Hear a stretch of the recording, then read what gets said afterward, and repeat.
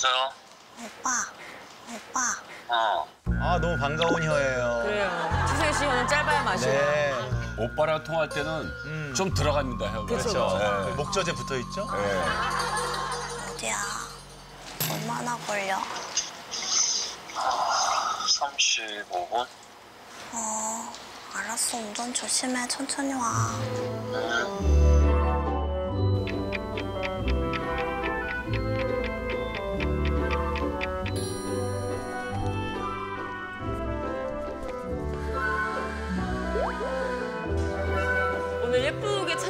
보고 놀라실 것 같아. 아 이지한 씨도 갈수록 멋있어지는 것 같아. 오빠다. 오빠 보고 싶었어요. 그래 이런 맛으로 보는 거였어. 병아리반, 병아리 반 학생 같아.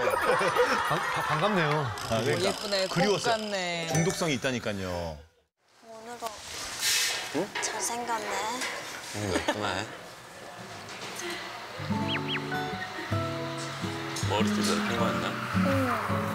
귀걸이도 예쁜 거였나? 응, 목걸이도 했어. 놓치지 않고 또 말씀해 오늘 주시니. 엄청 꾸몄어, 오빠. 예뻐? 꽃 같네. 어떤 꽃? 튤립. 튤립.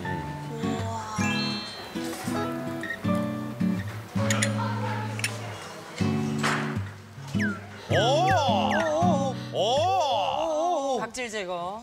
각질 제거. 아, 이 아름다운 장면에 같이 제가라죠. 제가 각질이 많아요. 네. 전제 손으로 뜯거든요. 점점 우리가 이런 애정 표현들을 이겨내는 방식이 달라지고 있는 것 같아요. 네. 우리가 살아가는 거죠.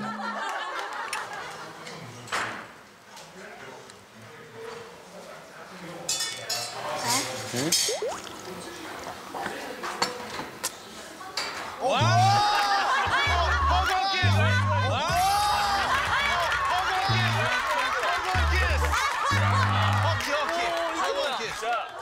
어떻게 하는 거죠? 허공 키스. 우리 사모님 앞에 계신다고 생각하시고 사모님 앞에 계시면 나만 시키는 거죠? 빨리요.